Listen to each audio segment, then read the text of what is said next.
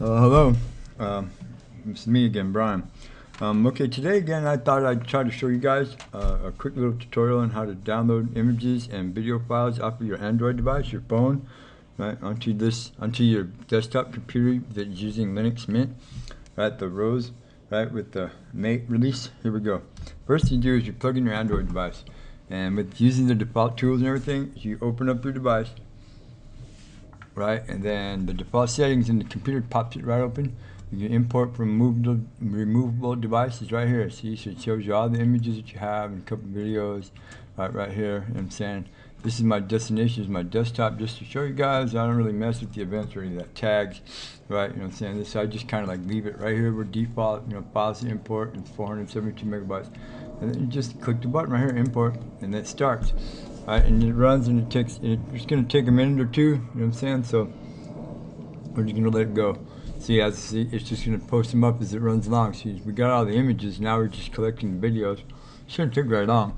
This this operating system tends to run pretty quickly on you know on a low resource computer like mine. So I got just around two gigs of you know DD RAM and all that stuff. So um, I'm just learning how to do all this, but I seem to be doing pretty good. Now it drops into the desktop gThumb right here.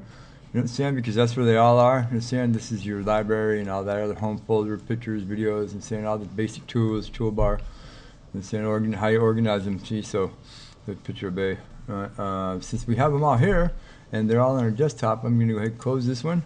And then right now at this point, I can sort them. I can, you know, I can open them up with the OpenShot Editor and edit them and manipulate them and all that stuff. But I just wanted to show you guys real quickly how to download them off your MP4 or your MP3 or your Android device, which I'm using. I have a Moto G phone. It's it right here.